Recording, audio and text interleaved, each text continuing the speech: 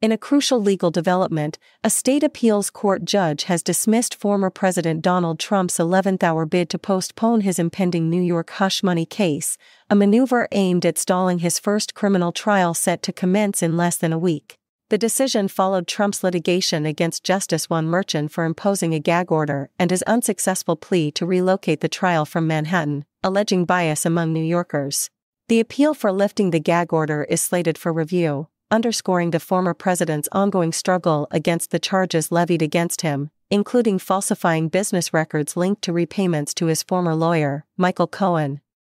Cohen's testimony, asserting Trump's authorization of payments filed as legal expenses to silence compromising stories, plays a pivotal role in Manhattan District Attorney Alvin Bragg's case. Amidst Trump's not guilty plea, his legal team's motion to disqualify Judge Merchan and the expansion of the gag order to safeguard the trial's integrity illustrate the intensifying confrontation between Trump and the judicial process, framing a significant prelude to the trial date on April 15.